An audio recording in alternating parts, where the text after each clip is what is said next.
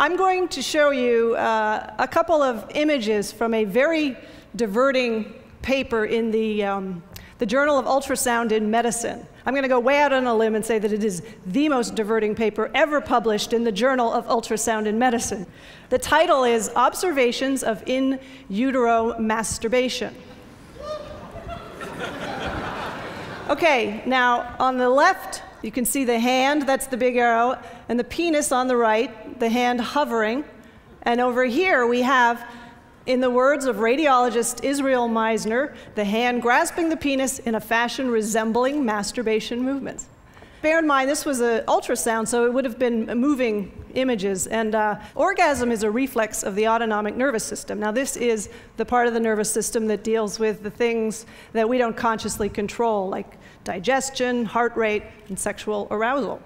And the orgasm reflex can be triggered by a surprisingly broad range of input. Genital stimulation, duh. Uh, eh, but also, uh, Kinsey interviewed a woman who could be brought to orgasm by having someone stroke her eyebrow. Uh, people with spinal cord injuries, like paraplegias, quadriplegias, will often develop a very, very sensitive area um, right above the level of their injury, wherever that is.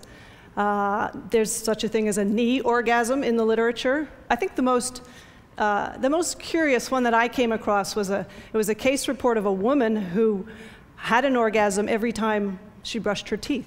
This was, then this was uh, something in the complex sensory motor action of brushing her teeth was, was, was, was triggering orgasm. And, they, and she went to a neurologist who was fascinated and you know, he checked to see if it was something in the toothpaste, but no, it happened with any brand. Uh, they stimulated her gums with a toothpick to see if that was doing it. Nope. It was the whole, you know, motion. Uh, and the amazing thing to me is that you, now you would think this woman would like have excellent oral hygiene. um, sadly, she, this is what it said in the journal paper. She believed that she was possessed by demons and switched to mouthwash for her oral care. It's so sad. um, I, uh, I interviewed, when I was working on the book, I interviewed a woman who can think herself to orgasm. She's, uh, she was part of a study at Rutgers University. Gotta love that, Rutgers. Um, and so she, uh, and I interviewed her in Oakland in a sushi restaurant. and I said, So, could you do it right here? And she said, Yeah, but you know, I'd rather finish my meal if you don't mind. uh, but afterwards, she was kind enough to demonstrate on a bench outside. It was remarkable. It took about one minute. Uh, and uh, I said to her, Are you just doing this all the time? she said, No, honestly, when I get home, I'm usually too tired. she said that the last time she had done it was on the Disneyland tram. the headquarters for orgasm along the spinal nerve uh, is something called the sacral nerve root, which is back here. And if you trigger, if you stimulate with an electrode the precise spot, you will uh, trigger an orgasm. And it is in fact that uh, you can trigger spinal reflexes in dead people. A certain kind of dead person, a beating heart cadaver, and this is somebody who is brain dead, legally dead, definitely checked out, but is being kept alive on a respirator so that their organs will be oxygenated for transplantation. Now, in one of these brain dead people, uh, if you trigger the right spot, you, can, uh, you will see something uh, every now and then there's, it's a reflex called the Lazarus reflex, and this is, this is I, it's, I'll demonstrate as best I can, not being dead. It's uh, like this you trigger the spot, the dead guy or gal goes like that. Very unsettling for people working in pathology labs. Um, now, if you can trigger the Lazarus reflex in a dead person, why not the orgasm reflex? I asked this question to a um, a brain death expert, Stephanie Mann, who was foolish enough to return my emails. uh, I said, So could you conceivably you know, trigger an orgasm in a dead person? And she said, Yes, if the sacral nerve is being oxygenated, you, you conceivably could. And uh, obviously, it wouldn't, you know, it wouldn't be as much fun for the person, but it would be an orgasm nonetheless. I actually suggested to, uh, there's a researcher at the University of Alabama who does uh, orgasm research, and I, I, said to her, you should do an experiment. You know, you, they, you can get cadavers if you work in a university. I said, you should actually do this. She said, you get the Human Subjects Review Board approval for this one. According to 1930s marriage manual author Theodore van de Velde, a uh, slight seminal odor can be detected on the breath of a woman within about an hour after sexual intercourse. Uh, Theodore van de Velde was something of a semen connoisseur. He, this is a guy writing a book, Ideal Marriage. You know, very heavy hetero guy. But he wrote in this book, Ideal Marriage, he said that he could differentiate between the semen of a young man, which he said had a, a fresh, exhilarating smell, and the semen of mature men whose semen smelled, quote, remarkably like that of the flowers of the Spanish chestnut, sometimes quite freshly floral, and then again, sometimes extremely pungent.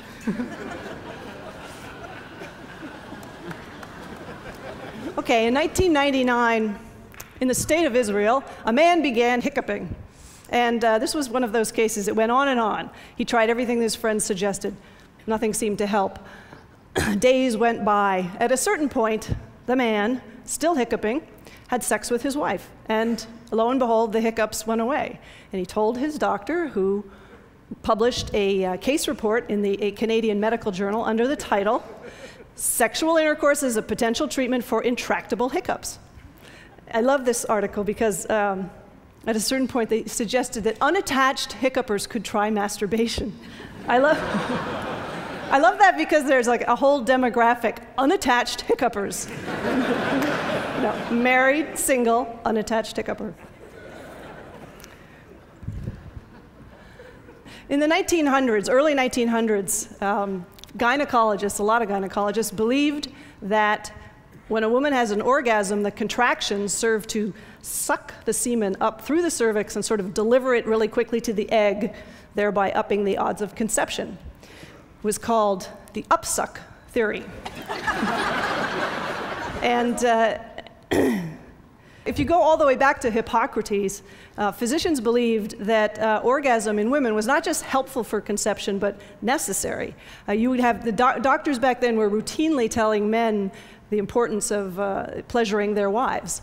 Um, marriage manual author and semen sniffer Theodore van de Velde has a line in his book. I love this guy. I got a lot of mileage out of Theodore van de Velde.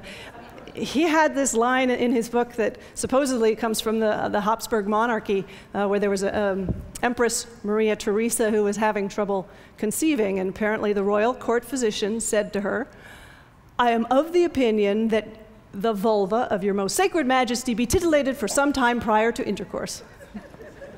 it's apparently, I don't know, on the record somewhere. Um, Masters and Johnson, now we're moving forward to the 1950s. Masters and Johnson were upsuck skeptics, which, which is also really fun to say. they didn't buy it. And they decided, being Masters and Johnson, that they would get to the bottom of it. They brought women into the lab, I think it was five women, and outfitted them with cervical caps containing artificial semen. And in the artificial semen was a radio opaque substance such that it would show up on an x ray. Just amazing. This is the 1950s. Uh, anyway, these uh, women sat in front of an x ray device and they masturbated, and the Masters and Johnson looked to see if the uh, semen was being sucked up. Did not find any evidence of upsuck. You may be wondering how do you make artificial semen? Uh, I have an answer for you. I have two answers. You can use flour and water or cornstarch and water. Um, I actually found three separate recipes in the literature. My favorite being the one that says, uh, you know, they have the ingredients listed, and then, you know, in a recipe it'll say, for example, yield two dozen cupcakes. Uh, this one said, yield one ejaculate. um, there's another way that orgasm might boost fertility. This one involves men.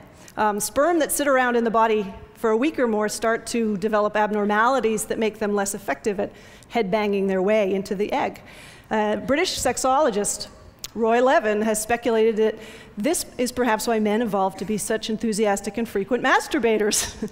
he said, if I keep tossing myself off, I get fresh sperm being made, um, which I thought was an interesting idea, theory. So now you have an evolutionary excuse. okay. Alrighty, there is considerable evidence for upsuck in the animal kingdom.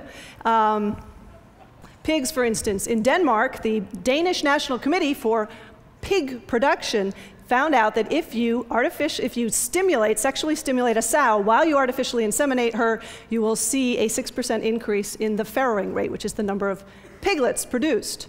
So they came up with this plan, this uh, five-point stimulation plan for the sows. And they had the farmers, they, there's posters they put in the barn, and they gave, had a DVD, and I got a copy of this DVD. and this is my unveiling because I'm going to show you a clip. Uh, so, uh, okay, now here we go. See, in it, la la la, off to work.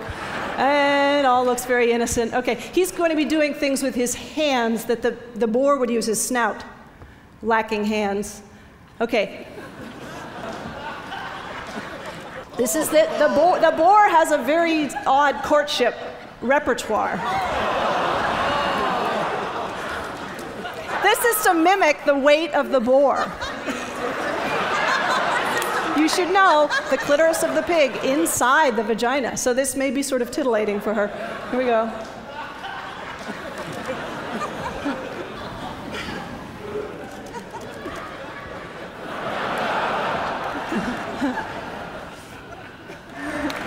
so, uh,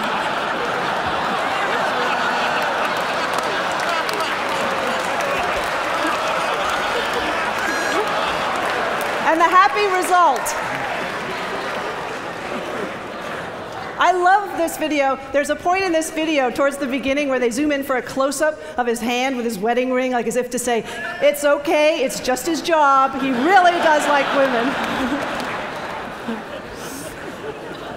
okay, now I said when I was in Denmark, my host was named Anne Marie, and I said, so why don't you just stimulate the clitoris of the pig? The, you know, why don't you have the farmers do that? That's not one of your five steps. She said, uh, I have to read you what she said because I love it. She said, It was a big hurdle just to get farmers to touch underneath the vulva. So we thought, let's not mention the clitoris right now. um, Shy but ambitious pig farmers, however, can purchase, a, this is true, a sow vibrator that hangs on the sperm feeder tube to vibrate um, because as I mentioned, the, clitor the, clitoris is inside the vagina, so possibly, you know, a little more arousing than it looks. um, and I also said to her, now these sows, I mean, you may have noticed there, the sow doesn't look to be in the throes of ecstasy. And she said, um, you can't make that conclusion because uh, animals don't register pain or pleasure on their faces in the same way that we do. They tend to, pigs, for example, are like, more like dogs. They use the upper half of the face the ears are very expressive. So you're not really sure what's going on with the pig. Primates, on the other hand, we use our mouths more. Um, this is the ejaculation face of the stump tailed macaque. Uh, and interestingly, this has been observed in female macaques, but only when mounting another female. Masters and Johnson in the 1950s, they decided, okay, we're going to figure out the entire human sexual response cycle, from arousal all the way through orgasm in men and women, everything that happens in the human body. Okay, with women, a lot of this is happening inside.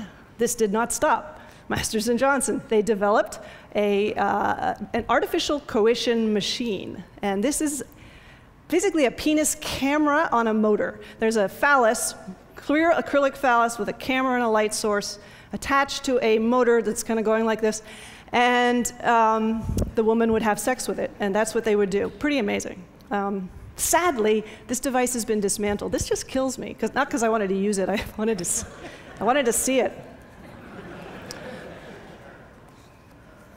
Um, one fine day, Alfred Kinsey decided to calculate the average distance traveled by ejaculated semen. This was not idle curiosity. Uh, Dr. Kinsey um, had heard, and there was a theory kind of going around at the time, this being the 1940s, that the force with which semen is thrown against the cervix was a factor in fertility. And Kinsey thought it was bunk, so he got to work. Uh, he got together in, in, his, in his, lab uh, 300 men, a measuring tape, and a movie camera. and in fact, he found that uh, in three quarters of the men, the stuff just kind of slopped out. It wasn't spurted or thrown or ejected under great force. However, the, um, the record holder landed just shy of the eight foot mark, which is impressive. in, yes, exactly. Sadly, he's anonymous. Not, his name is not mentioned. Um, in, in his write-up, in his write-up of this experiment in his book, Kinsey wrote, two sheets were laid down to protect the oriental carpets. Which is my second favorite line in the entire oeuvre of Alfred Kinsey, my favorite being, cheese crumbs spread before a pair of copulating rats will distract the female, but not the male. Thank you very much.